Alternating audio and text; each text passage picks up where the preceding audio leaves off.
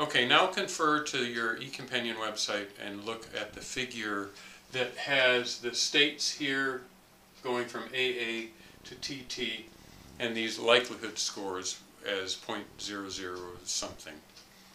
Okay, we consider a data set that consists of G, T, and T. Those are the observed data.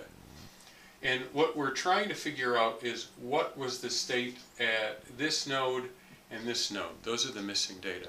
And let's imagine a tree with branch lengths of 0.9, 0.09 from here to here, 0.04 from here to here, and 0.05 from here to here, and here to here. Okay, so we have the data and we have some branch lengths. What is the probability that this was an A? Is it zero? No, of course not. It could have been an A. Not likely, because none of the terminal states, none of the observed data are A. But the probability that this is an A and this is an A, and then it changed to a T and a T, and from here to here changed to a G, that's small. And we look here, it's one of the smallest likelihoods.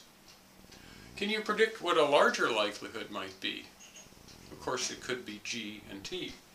The likelihood that this was a G and this was a T is greater than the likelihood that this was an A and this was an A, if these branch lengths are short enough. Okay? Let's look at that GT value. The probability that this was a G and this was a T is the highest in that entire table. Other, just think about other likely um, probabilities. How about this being an A and this being a T? That's right here. And indeed, it is one of the more probable distributions of character states at the internodes. So what likelihood is doing is calculating the probability of every possible state at the missing internodes and summing them into a combined probability of this tree with this branch length. You, you add them all together and you get 0.1687. Then we're going to take the likelihoods at each site and multiply them together. This is how we calculate a likelihood score.